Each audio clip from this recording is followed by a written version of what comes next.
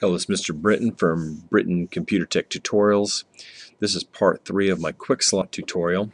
If you notice I have three, four slots down here and I'm working on number three. This is a shield. So if I press the number three, a shield comes up for two seconds and the shield will block all incoming attacks by the monsters. But it also uses some energy up. So my first two slots, my first, uh, if I collect an orange potion, notice that I have two in my quick slot, I can use those to regain health. My blue potions, which I have two now, if I press the 2, it'll increase my energy uh, uh, up. So if I press the shield and I get attacked, notice that the attacks do no damage. Now they're damaging me, so I better increase my uh, energy and put a shield on. There it, it stopped all those attacks. Uh-oh, better put another shield on it. Stopped them.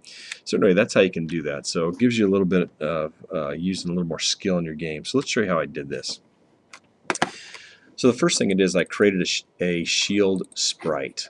And I made this sprite 48 by 48 and I didn't animate it. Don't animate it this time. Just make it a single sprite image. Uh, we'd have to do some different things uh, if we want it to be animated. So just a single sprite image. I also centered it at 24 by 24. I also had to make a quick slot uh, sprite, so I duplicated uh, that sprite and shrunk it down to 32 by 32 so I could draw it with my uh, quick slot controller. And I talked about that previously, how I did that. Now, let's show you how this works. So I'm going to go to the boy object and what I had to do first of all is I had to set up a variable. So in the create event I set a variable called shield and give it a value of 0. So what that does, if shield is 0 that means the shield is off. So to turn the shield on I'm pressing the 3 key. So I added a key press 3.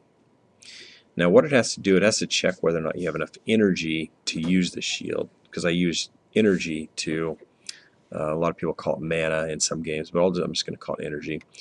So it's going to cost me 10 energy each time I use a shield. So I first of all I test whether or not I have enough energy. So I say, is the boy's energy larger than 9? If it is, it'll go through this routine. So the first thing it does is it subtracts 10 from your boy's energy and make sure you check relative so it subtracts 10 from it. Then it sets your shield to 1 so now it's active and it also sets alarm 0 to 60 steps and 60 is 2 seconds. Okay now let's see what happens when the alarm goes off. So I added an alarm 0 event and all it does is it sets the variable shield back to 0 and that'll basically turn it off. So how did I draw the shield? Well, that's done in the draw event. So I go to the draw event and I added this routine right here to draw the shield. First of all, it checks whether or not shield is active, whether it's on. So if the value of shield is equal to 1, then it'll do this routine. It'll simply draw the sprite for your shield relative to your character's position. Now I put in 16 and 16 because that's how I get it centered on my boy object. Otherwise it'll be drawn uh, up in the top left hand corner of the sprite. So I just added 16 each of those and that'll make it centered. And um, uh, that's basically how we do the, uh, uh the shield effect. The other thing he had to do was so that the shield actually did something and blocked the incoming attacks is we had to add, add this to the collision event with the bone. So if your bone collides with your boy, we added a test variable.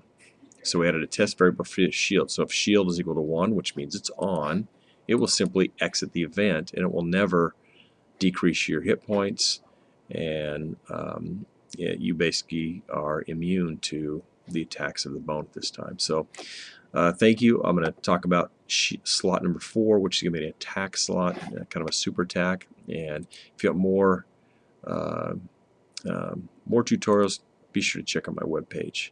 Thank you very much.